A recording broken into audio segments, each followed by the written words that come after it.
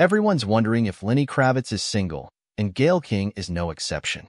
The CBS Mornings co-host dug into the singer's love life in an interview on Thursday, asking for a friend. Is there love in your life now? King queried. Do you have a significant other in your life? And can I beat her ass if she is? Oops, did I say that out loud? And I'm non-violent, Lenny Kravitz. But do you have a partner? Do you have a love in your life?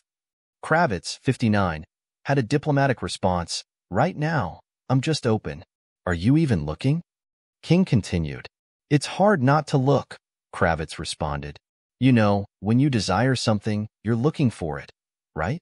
But I find that when you don't look is when you find it.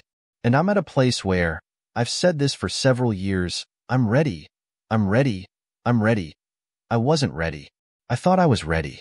But I can say that I've never felt how I feel now. King, 69, gave the singer another nice compliment before the conclusion of the segment. I'll just say this about you. You seem very comfortable in your own skin at all times. Clearly, King, 69, thinks highly of the flyaway musician. When Lenny Kravitz walks in a room, you are the epitome of cool. You are the epitome of sexiness, she said at the beginning of the interview. And I'm wondering if you are aware of the effect you have on people, or is this something you have to work at? Kravitz answered while maintaining a sense of mystique and humility. I don't work on it at all, and I don't think about it, he said. But I am aware of people's reactions. The rocker sent some positive energy in King's direction as well. After she told him, I feel so happy to be on the planet, Kravitz warmly added, healthy and gorgeous.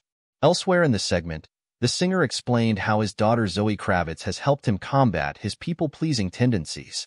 That's something that I've been exercising and growing in, where no is necessary at times, he said. And this is something that I actually learned from my daughter. She's so good at creating her boundaries. And boundaries are healthy, but that generation, they don't have time to play.